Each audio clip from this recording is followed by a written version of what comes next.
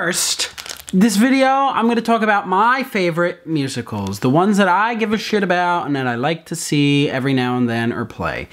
Now, I'm not the kind of person where I like to go see shows. Despite all the playbills I have, I don't like going to see shows a lot. It depends on my mood. These are all my playbills. And I'm just, I'm not gonna go through them all, my head would explode. But I'm gonna go through my favorites. So, my first show that I ever saw and I saw it twice. Uh-oh, this is gonna break. I saw it twice. Moving Out, Billy Joel's musical. I actually saw it twice. And the second time I saw it, I had this really brilliant idea. I'm like, oh, it's the closing night of the show. I think I'm gonna go, I was like, I don't know, 14.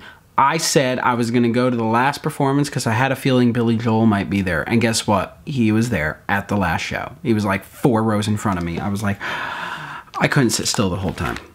I saw Next to Normal twice. That was a good one. I saw Les Mis. No, wait. Oh, this was Les Mis at the Paper Mill Playhouse. I love Les Mis. Uh, that's an opera. That's an opera. Carmina Burana. Oh, I'm just going through everything, aren't I? This is, some of this is like stuff I've done. American Idiot. I saw. I love the music of Green Day. Not so much a good musical story. It just doesn't, you know. It's you could tell they were trying too hard to make a story out of music. Uh, let's see what else. Parade. Eh. Uh, there's all these other shows. I'm just looking through my playbills. Once on This Island.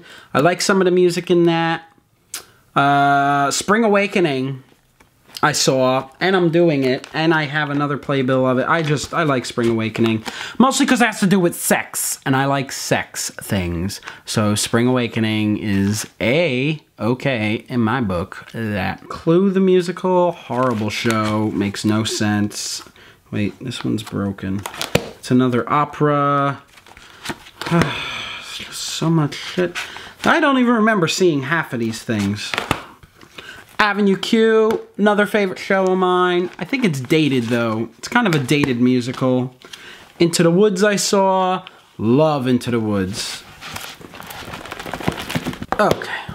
That's the book. Then, we have all these other things. Spring Awakening. I saw the one with the hand signs, the deaf people in it. I thought that was a good production. Love Spring Awakening. I Love You, You're Perfect Now Change. Hate the show. Don't get it. On the Town. Uh, Fun Home I saw, and I got it signed by people. That was fun. Uh, Finding Neverland. I'm not really into fantasy shit. Like, you know, Disney, I hate Disney. Oh, I saw this twice? How did... No, that can't be. The King and I is beautiful music. Uh, It Should Have Been You. I thought this was funny. Something Rotten, my favorite musical, or one of my favorites, and I'll tell you why in a second. Book of Mormon. Fucking love the show.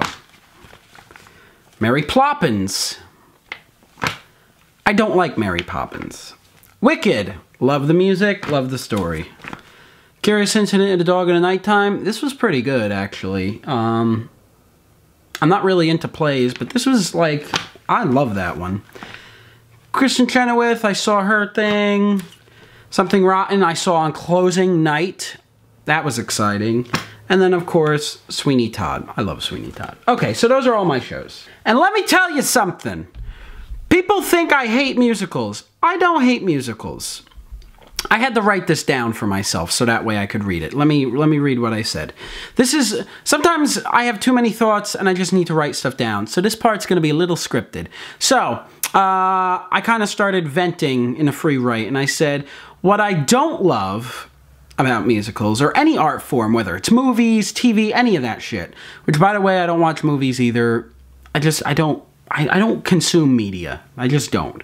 Uh, what I don't love is the is when the art form starts to become sterile, stale, created, and structured with a business model in mind, and not written from an authentic place. Uh, I understand money is one aspect, and you do need funding to support a show and keep it on its feet, and so I'm not dismissing the business part of any of this. However, I feel if one were to write a musical or a story based on what they've experienced and know well, people will gravitate towards it. Shows that are crafted to cater to certain audiences strategic, strategically written are shows I tend to not be thrilled by. Uh, I love Something Rotten because the message is to thine own self be true. A perfect story demonstrating exactly what I mean. Hate musical theater. I just hate when it becomes a business and it's like, well, we have to write it this way, or we have to write it this way, or write it this way, or, you know, people will like this, so let's do it that way. Not a fan of that shit, man. That's like, uh, it doesn't do anything for me. But yeah, just to clarify, I don't hate musicals. I love musical theater. I just don't like when shows are written to try to get an audience to be captivated. I'm like, can't you just write what you know and write stuff that feels right to write. I don't tend to go see shows. I tend to not go watch movies. I tend to not watch much TV. I like The Office. I like House.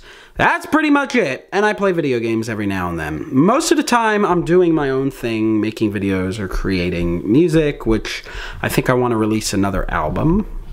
Uh, but I feel like I have so many individual songs. I don't want to put a bunch of individual songs out individually. I would ra rather, I can't talk today. I would rather make an album and put it out there of like eight to 10 songs because I have a lot of music that I can definitely do that with. And that's a project that I'm working on.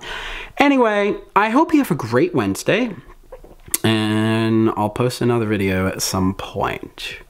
Uh, also, on that note, I don't know when I'm going to be posting. I know Mondays are always there, and I know I said Monday, Wednesday, Friday, but I can't post just like on a schedule, except for Mondays. But I think I'm going to try my best to do what I can and post when I can. I was thinking maybe Monday, Thursdays. I don't know. Don't hold me to it, because just keep subscribing, and I'll you'll see me post a video every now and then. More than once a week of course. Anyway, have a great Wednesday. Bye.